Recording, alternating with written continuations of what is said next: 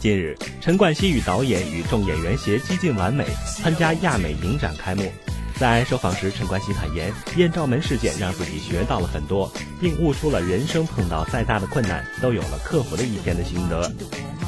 艳照门事件爆发至今已经有三年多，陈冠希觉得这段痛苦的经历让他学到很多，例如以前在香港有人帮着处理家务、清洁打扫，我还常常开口骂工人动作慢。事情发生后，我一个人要住在洛杉矶，自己打扫房子、熨烫衣服、料理三餐，还发现我自己动作也很慢。我会骂我的工人说：“呃，为什么你那么慢？我给你三分钟就三分钟啊！那现在我自己真的在家，我自己给自己三分钟，一定不可以做做到那个事情。其实我要花十五分钟，所以。”现在其实我看人、看事情、看世界，其实改了好多。他还表示，曾有一次在做家务时领悟了一个道理：每个房间都有出口。他很希望跟年轻人分享这个心得。人生碰到再大的困难、痛苦，都有克服的一天。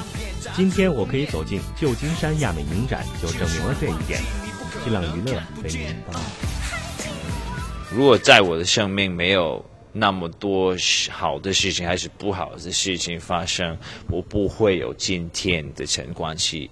然后，如果我我回哦我回头看之前哦二十六岁的陈冠希，跟现在的陈冠希，我比较喜欢今天的陈冠希，是因为我过了一个挫折，然后也过了一个很很困难的一个事情，然后让我学习到很多新的东西，然后重新看世界。